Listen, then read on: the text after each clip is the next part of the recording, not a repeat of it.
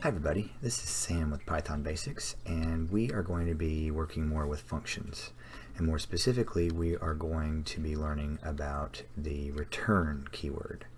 And what the return keyword is used for is to actually kind of create turn your function into something.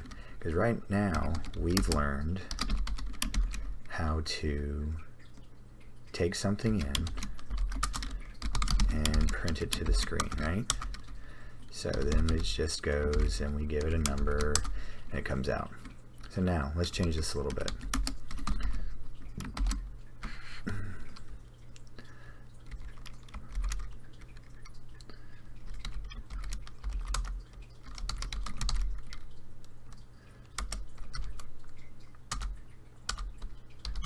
So, all right. Now at first this is going to look like just did the same thing. So 4 comes out. Well, let's go through and actually take a look at this. So right now, this just has something come out to the screen. Nothing's created. It does not return anything. So that's the way you need to think about this. With with only print, just it's being shown. With return, it's being created. That's how you need to think about it.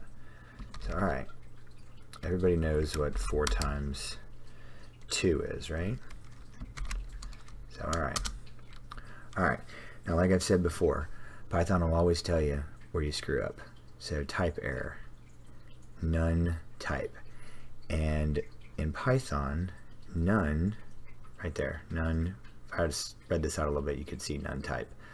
Alright, that just means you didn't create anything because you didn't use return. So now, now let's check out our return function. num4 times 2.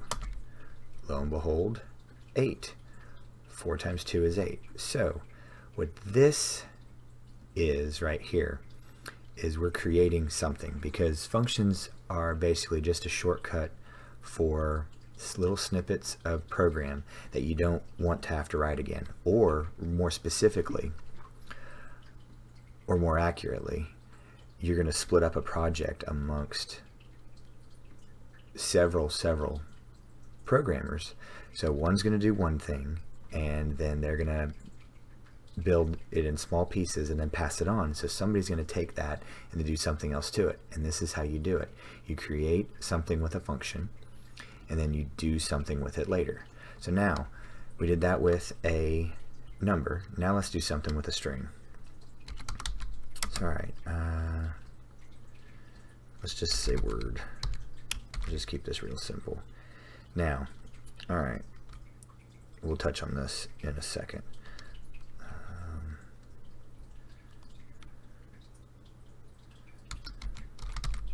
so we can remember, return string. So, and this is just to remind you what needs to go in there, a string. All right, so we're going to put my name. Okay, lo and behold, this comes out. Now, you might say, well, this isn't a string. This is the more accurate way you want something to happen. Very pretty. And still now watch watch watch watch. Python's going to count how many parentheses. So right here it highlighted we haven't talked about this. So it's only highlighting that this is closed so I need another parenthesis. Lo and behold close the whole thing. Now I hit enter and bam now it comes out nice and pretty. Now now let's do something right here that make a new definition that we're going to do something to the string and create something create a second part. Because this is just lo and behold taking in something and printing it out. Whoop-de-doo. Word. Ed so taking the string. Return.